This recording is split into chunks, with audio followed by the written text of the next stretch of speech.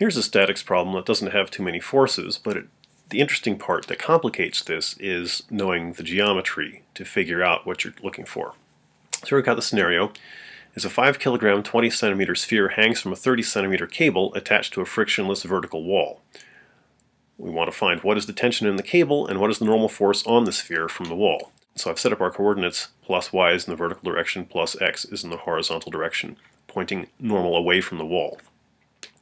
So a free body diagram, the forces we've got are the weight of the ball pulling downward, the normal force from the wall pushing directly outward, horizontally, that's plus x direction, and the tension in the cord, which is pulling up and to the left. The numbers that we're given are the length of the cord is 0.3 meters, the radius of the ball is 0.1 meters, the mass of the ball is 5 kilograms, and we want to find the magnitudes of the tension force and the normal force. This is Newton's first law problem that the sum of all forces is zero. If the sum of all forces is zero, mechanical equilibrium, we can say that's true for the x component of force and the y component of force are both zero. Geometrically, what we're going to use to find some relations between these quantities is similar triangles. We know the direction of the tension is in the same direction as the cable. So here are our similar triangles. We've got this triangle, which is dimensions. So the length of the cable, what this, what this length is, this is from the wall to the center of the ball. So the cable is length L, and then from the edge of the ball to the center is R, so this whole length is L plus R. And then the distance from the center of the ball to the wall is also radius R. So we know those two numbers. A similar triangle with the same angles, not the same dimensions, but the same angles, are the forces, which also add up to zero. So we have the normal force in the horizontal direction, the weight in the vertical direction, and the tension obliquely going between the weight and the normal force. So now we can break down these forces into some components, x and y components.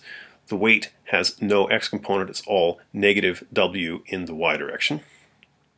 Tension has both x and y components. In the x direction, it's backwards, negative. In the y direction, it's upwards, positive. Normal force has only an x component, no y component. And from Newton's first law, we know that the sum of forces in the x direction is zero, and the sum of forces in the y direction is zero. From our similar triangles, we know that this ratio, n over t, is going to be the same as this ratio, r over l plus r. So from that we can solve for n. Get n is t times r over l plus r. We also know from this triangle being a right triangle that the square of the hypotenuse is equal to the sums of the squares of the other two sides. So t squared equals w squared plus n squared. And then what I've done here is I've plugged in our value for n, t times r over l plus r. So t squared equals w squared plus t squared r squared over the square of l plus r. Why do we do this? Well, now we have an expression for t that's in terms of r, l plus r, and w, all of which are known. Once we can then solve that for t, we can plug that back into our equation for n and find both of those. So here's what we have. We had our expression for t. Now I'm going to solve for t. Basically, I'm going to multiply both sides of the equation by the denominator. Here's the square of l plus r. I've expanded it so that we can multiply through by the terms. I haven't expanded it on this side. We'll see why that's convenient. Basically what I'm going to try to do is put all the terms for t on one side and all the terms that don't include t on the other side. So I take this term t squared r squared over here, that's minus t squared r squared, and here I've multiplied through t squared l squared plus 2t squared lr plus t squared r squared. And on this side we're just left with w squared times the square of l plus r. Over here, the t squared r squared minus t squared r squared cancels, so we're left with this t squared l squared plus 2t squared lr. Nothing changes on the right.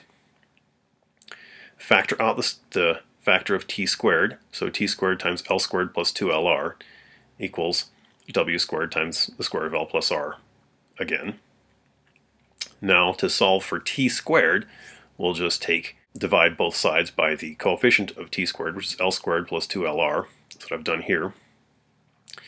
Now to find t, just take the square root of this. So the square root of the w squared is just w. The square root of the l plus r squared is just l plus r. That's why I didn't bother to expand it out here. And then in the denominator we have the square root of l squared plus 2lr. Now this potentially had two solutions, a positive and a negative, but since we're just looking for a vector magnitude, that's always going to be positive and we can ignore the negative root that we get out of this. Now we're going to check this for um, units. Do the units work? Here we have T, which is tension, which is force, equals weight, which is a force, times, what's this, L plus R, that's a distance. L squared plus 2LR, that's distance squared, so distance over the square root of distance squared is just distance over distance, that's dimensionless, and we have weight equals weight, the units work. Now we take this and plug it into our expression for N to find what the normal force is, and that's what I've done down here. N before we said was T times R over L plus R, and then here, um, just plugging in our value for t, that's L plus R over the square root of L squared plus 2LR, still our R over L plus R. Our L plus R's in the numerator and the denominator cancel out. And what we're left with is N equals the weight times R over the square root of L squared plus 2LR. Our units work out for this because N should be a force. So here we have on this side weight, which is a force. And now we have R, which is a distance, L squared plus 2LR, well these are distance squared, so distance over distance, that's going to be dimensionless, and we have the units for weight, that's fine. What about some special cases for our situation? So here you have our expressions for the tension T and the normal force N. What if the radius is infinitely small? So essentially we've just got a point mass hanging. What then are our tensions and uh, normal force? So if R equals zero, then the tension just becomes W times L, so just the tension just becomes weight times L over, what's this, L squared plus 2LR. Well, this term goes to zero, so we just have L over the square root of L squared, so this just becomes W. So the tension just becomes W, which is the weight of the object, and there's no normal force. And that's just the case of hanging it straight down. There's no need to push it away from the wall because there's no extent away from the wall. The, the angle is just straight down. Now, what if you're holding it on an infinitely short cord. Then what do we get? Well, so that means that L equals 0, so if we make this L equals 0, we have R over 0. Uh, that means an infinite tension, and the normal force then has to also be infinite because that's opposing the force of tension. So the force of tension is to be pulling straight into the wall, and the normal force is pushing straight out of the wall. This is not a realistic situation. This essentially is just riveting the ball to the wall, and as you can see, there's going to be tremendous tension between the ball and the wall because there's essentially no force, at least no force that we've allowed for, that's actually pulling up to support the ball's weight. It's attempting to make this infinite so we can have any component of force in the vertical direction, which we don't have. Let's plug the actual numbers into our formulas. Here, the weight, um, well, the mass was 5 kilograms, multiplied by 9.8 newtons per kilogram because it was 49 newtons. The length was 0.3 meters, the radius is 0.1 meters, so 0.4. Uh, plug all those numbers through, and we end up getting 50.6 newtons for the tension, a little bit more than the weight, which is not a surprise. Plugging the same numbers into the formula for the normal force, we get 12.65 newtons that the wall is pushing out on the ball.